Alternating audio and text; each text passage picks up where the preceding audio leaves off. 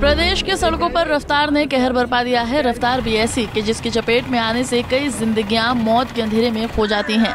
ऐसा ही कहर बरपा जनपद हाथरस में, जहाँ पाँच लोग मौत की रफ्तार में ज़िंदगी की जंग हार गए। तो वहीं चार लोग अभी ज़िंदगी की जंग लड़ रहे हैं।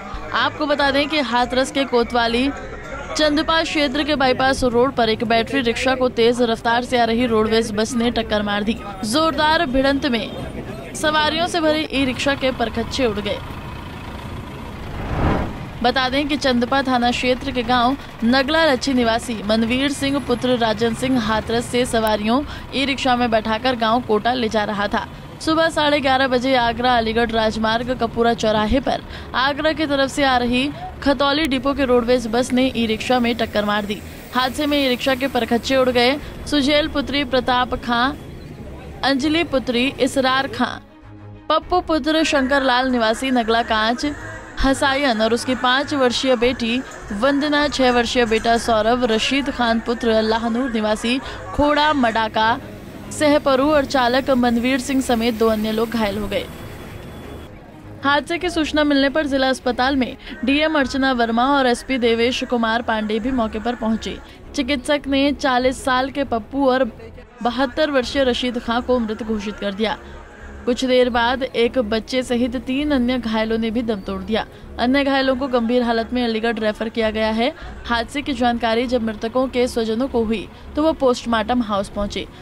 बाईपास पे करीब 11 बजे एक ई रिक्शा और रोडवेज़ बस में टक्कर से दुर्घटना हुई है। इसमें अब तक पाँच लोगों की मृत्यु हो गई है और घायलों का इलाज चल रहा है। कुछ का इलाज यहाँ चल रहा है दो लोगों का इलाज यहाँ चल रहा है दो का इलाज जैन मेडिकल कॉलेज में चल रहा है।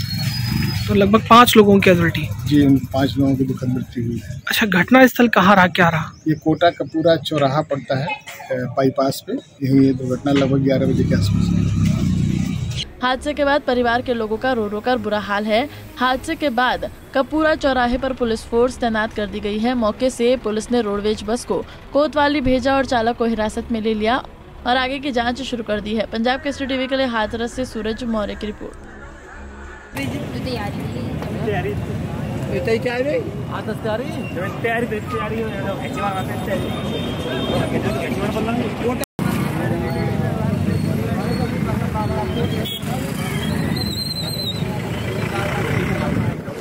हमसे जुड़े रहने के लिए हमारे YouTube चैनल को सब्सक्राइब करें और नई वीडियो की नोटिफिकेशन के लिए बेल आइकॉन को दबाएँ।